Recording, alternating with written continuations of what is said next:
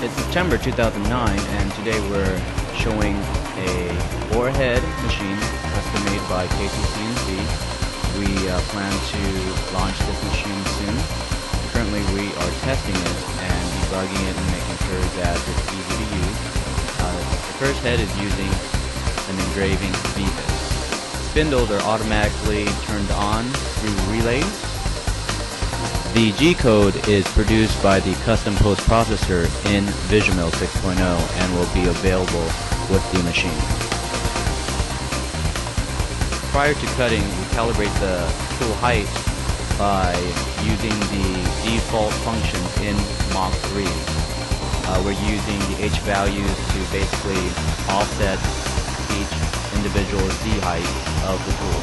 The second tool that we're using is .875 single flute end mill. In this particular demonstration we are using two Bosch Colts and two Porter-Cable routers.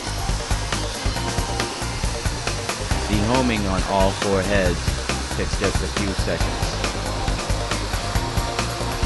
We are using Mach 3 to run the program. The third bit is a half inch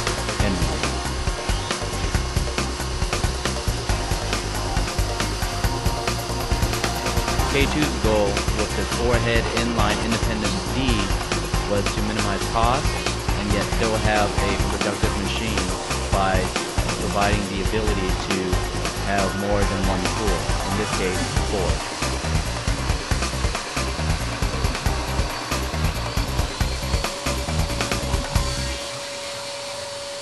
On the fourth head, we have a two-flute straight end mill.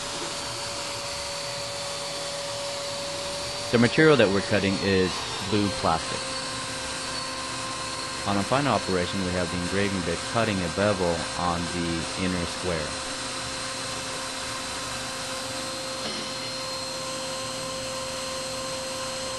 For more information, please call 714-999-1156 or visit our website at k2cnc.com.